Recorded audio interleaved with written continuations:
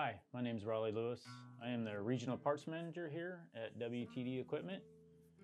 Uh, usually I'm going over invoices, billing, receiving, inventory, making sure we're getting the correct parts for our customers. Uh, things I like to do on the weekend, uh, work in the yard, spend time with the wife, and when it's football season, we go to the football games. So thank you very much.